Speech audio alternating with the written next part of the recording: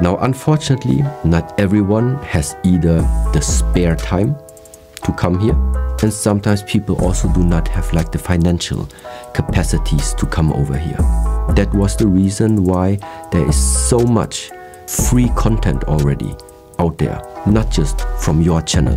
We also have like a lot of different platforms where you can access all different types of teaching, no cost at all. So that means there's also no excuse to say that you cannot access these courses. But then afterwards, everything that we share out, the more free suddenly it becomes, I have to say.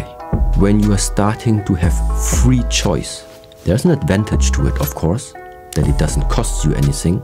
But because it doesn't cost you anything, mostly your understanding of its value is um, underrated.